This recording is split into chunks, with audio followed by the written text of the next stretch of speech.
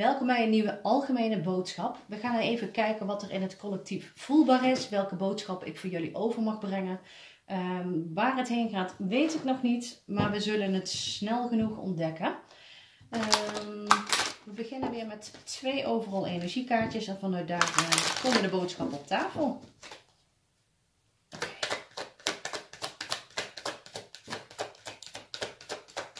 We hebben afzondering.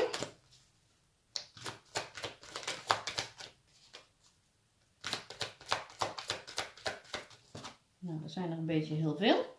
Dat zullen we maar niet doen. En vastzitten in de modder. Oké, okay, dus een soort wake waar ik hierdoor krijg.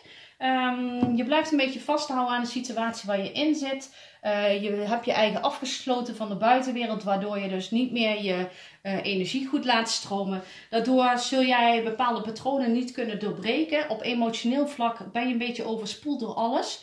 Uh, ik krijg wel het gevoel dat je hieruit wil komen, maar op de een of andere manier lukt het jou nog niet helemaal om die nieuwe stroming te pakken. Maar we gaan eens even verder kijken wat dat betekent.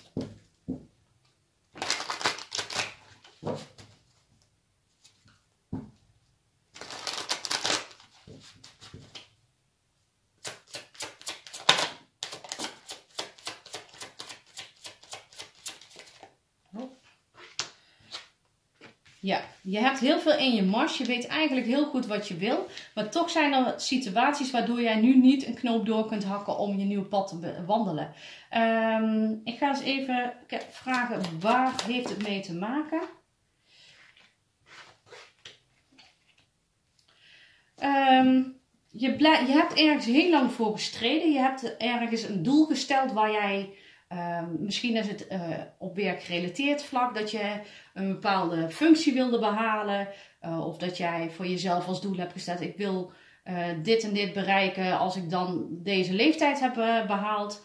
Maar op de een of andere manier ben je aan het veranderen geweest, waardoor deze doelen die je gesteld hebt, of die, die eisen eigenlijk, het voelt meer als een lastenpakket die je voor jezelf neer hebt gelegd, um, zorgen er nu voor dat jij deze uh, situatie hebt gecreëerd. Daar kun je uitstappen, je kunt daar een bepaalde keuze in gaan maken, maar daarvoor is het belangrijk niet in je hoofd te gaan zitten, maar naar je gevoel te gaan. Er zullen dus knopen doorgehakt moeten gaan worden. Voor heel veel van jullie die aan het kijken zijn waar dit mee resoneert, heeft het dus daadwerkelijk te maken dat jij een heel hele nieuwe situatie voor jouzelf gaat creëren. Of dat er nou werkgerelateerd vlak is, of um, via een... Uh, een, een vriendschap of een relatie. Uh, je bent nu op een punt aan het komen dat er heel veel puzzelstukjes uh, neer aan het vallen zit, is. Maar dan nog sta je net voor die tweesprong. Je staat net voor die keuze van moet ik nou linksom of rechtsom. We hebben hier twee keer een kaart uh, waar ik van denk van ja, je zit toch heel veel in je hoofd. Je bent toch wel een beetje met dat materiële gebeuren bezig. Um, het financiële gedeelte. En het hoeft niet per se dat dit jouw energie is. Het kan ook zijn dat je met een persoon te maken hebt die in deze situatie vastzit. Waardoor jij dus nu deze video kijkt en dat je denkt van, oh ja, dat is gerelateerd of gebaseerd op die en die en die. Dit, het is een boodschap voor vele uh, verschillende oogpunten. Dus het is niet alleen voor degene die in zo'n situatie vastzit, maar ook voor degene die daarmee te maken hebben. Um, maar er gaat een bepaalde uh, situatie plaatsvinden waardoor je gaat merken van oké, dit dient mij niet meer. Ik praat heel even in de zin van uh, als dit voor jou zelf zou zijn. Um, hier staat het deurtje open. Je bent al zo ver gekomen en je kunt nu die strijd neergooien. Je mag naar die wijde wereld weer in. Want achter die deur is een nieuwe wereld, is een nieuwe mogelijkheid. Je mag het oude eventueel loslaten. Dus mocht jij met jouw werk bezig zijn, dat je denkt van ja, ik heb zo gestreden en eigenlijk wil ik deze functie, maar die andere functie is leuker, maar dan ga ik minder verdienen.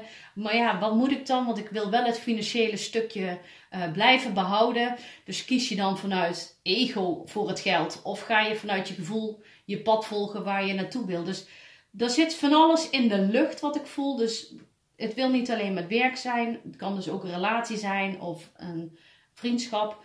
Uh, ik voel heel veel verschillende elementen. Dus het is een overkoepelende energie waar meerdere facetten in verscholen zitten. Dus voel echt wat voor jou passend is.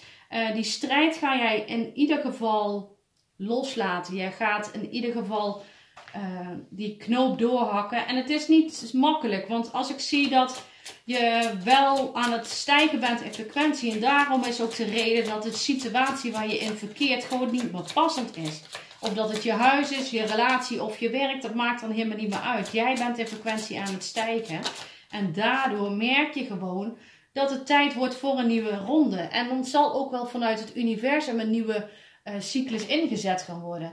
Uh, je zult die keuze, uh, stress, gaan verminderen als je erop vertrouwt dat het universum jou daarbij ondersteunt. Uh, dan zul je meer uit je hoofd gaan en dan zul je ook merken dat bepaalde uh, keuzes makkelijker zijn dan wat je in eerste instantie voor je had. En dan zul je ook weer merken dat je steeds meer naar het stukje groeit waar jij vroeger um, leuk vond om te doen. Het voelt echt die vernieuwde energie van vroeger. Toen heb je een passie gehad of een hobby of een connectie met iemand of uh, een, een doel waar je graag zou willen uh, als baan. Dat je dacht van nou vroeger wilde ik brandweerman worden. Nou ben ik uh, zakelijk uh, een accountant of zo. Van, het is helemaal niet wat ik wil. Maar dat was makkelijker om in te rollen. Dat was ja, weet je, het stukje stabiliteit die ik toen voor mezelf nam. je gaat weer terug naar die basis van jezelf. Dit voelt niet als een soulmate kaart in dit opzicht. Totaal niet. je, je gaat weer naar die, naar die diepgang van vroeger.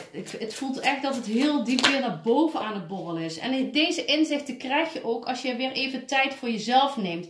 Als je inzichten gaat nemen van wat, wat is deze verbinding, werkzaamheden of relatie nou eigenlijk werkelijk?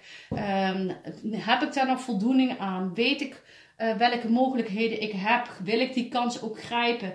Uh, zijn er andere opties die ik kan nemen? Um, is die passie die ik voel van vroeger kan ik daar wat mee? Of moet ik het in de ijskast zetten? Er gaat zoveel weer in jou om. En dan schiet je weer in je hoofd. En dan is het juist de kunst om je balans te creëren.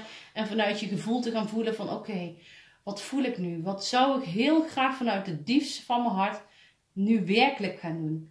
En ga dan kijken of dat ook, ook verwezenlijk kan worden. Want vaak kan er meer verwezenlijk worden als dat je in je hoofd vastzet. Dus uh, waar een wil is, is een weg, zeg ik altijd. En die weg krijg je voor je geschoteld. Het is alleen sla je linksom of rechtsaf. En dan krijg jij toch mogelijkheden. Ga je het juiste pad kiezen, komt er vanzelf een nieuwe aspecten naar je toe. Heb je bijvoorbeeld uh, gekeken op werkvlak en um, is het werk niet meer wat het voor jou bedoeld is? Ben jij daarmee bezig? Uh, dan komt vanzelf een sollicitatie of een, een vacature vrij. Of dat je denkt van, oh wauw, dat is precies wat ik wil. Dat is precies zoals ik het eigenlijk altijd al uh, van binnen voelde, maar nooit heb gedaan. Dus er gaat heel veel in het energetisch veld in één keer stromen. Daardoor zul je een bepaalde stabiliteit weer neer kunnen gaan zetten. En zie je dus in dat je hart volgen niet altijd uh, negatief hoeft te zijn. In de zin van dat je daardoor uh, financieel misschien belemmerd gaat worden. Want dan krijg je hier de 9 van munten. Het is niet de 10 van munten, geef ik eerlijk toe. Maar ook hier zul jij uh, gewoon alles kunnen regelen, financieel gezien, noem maar op. Uh, wil je van huis wisselen of uh, wil je van koop naar of van huur naar koop of wil je van koophuis naar een ander huis, maar denk je van hm, ik moet dan weer meer uren gaan draaien om het allemaal bol te werken. Ga daar rustig over in gesprek met de mensen die daar um, voor zijn. Want ik zie hier wel een energie dat je heel veel voor elkaar kunt krijgen. Dat je heel veel stabiliteit kunt creëren. Ondanks dat je in die transformatie zit, geniet je volle teugen. En neem je met kleinere dingen genoeg. Jij hoeft niet meer een dure auto op de stoep met een minder dure auto. Vind je het ook prima. Je hoeft niet meer een dure woning. Want een kleiner huis vind jij ook fijn. Um, je neemt genoegen met veel minder. Je hoeft niet maar drie keer op vakantie, maar één keer is ook goed. En dat zie ik ook wel terugkomen. Dus dan hoef je niet tien van munten te hebben om dat gelukkige gevoel te ervaren. Want jij bent in deze situatie gelukkiger als dat jij in deze situatie zit en de tien van munten zou hebben. Dan heb je het financieel allemaal goed voor elkaar. Heb je een bepaalde stabiliteit neergezet. Maar dan, hoe voel jij je eigen op emotioneel vlak? Heb je dan jezelf daarin um, tegengewerkt? Heb je je eigen daar dan niet eerlijk in benaderd? Uh, dat is iets waar jij op dit stukje hier gaat doorlopen. Hier ga je die eerlijkheid naar jezelf creëren. Ga je vanuit het gevoel handelen. En zul je merken van oké, er is iets in mijn leven wat niet meer dient. Ik wil er een nieuwe verschuiving in plaats gaan vinden. Ik wil loskomen van die situatie. Maar hoe? Ga jij vanuit je gevoel handelen? Gaat het universum jou het rad laten draaien?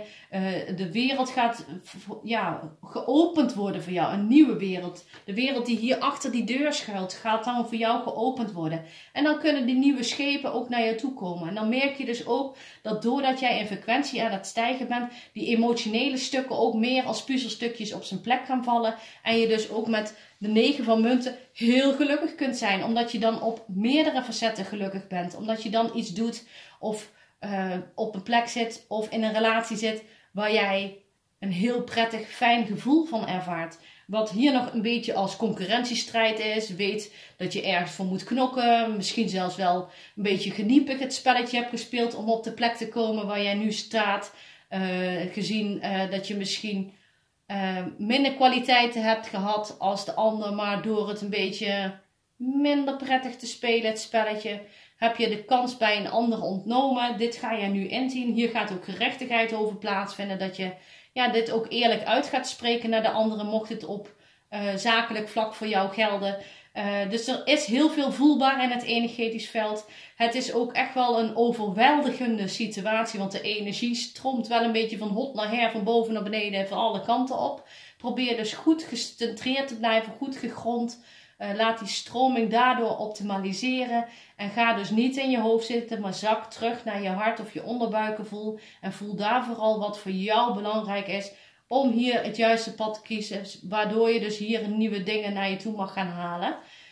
Um, ik kan niet heel veel aan deze reading meer toevoegen. Het is een uh, behoorlijk energieke energie die ik voel. Dus ik ga zo weer aftappen van deze energie. Ga ik weer lekker in mijn eigen energie zitten. Um, mocht deze video voor jou resoneren of voor iemand die je kent, uh, stuur de video dan door of geef een uh, reactie hier beneden. Um, en dan wil ik jullie voor nu weer bedanken voor het kijken en tot de volgende keer. doei doei!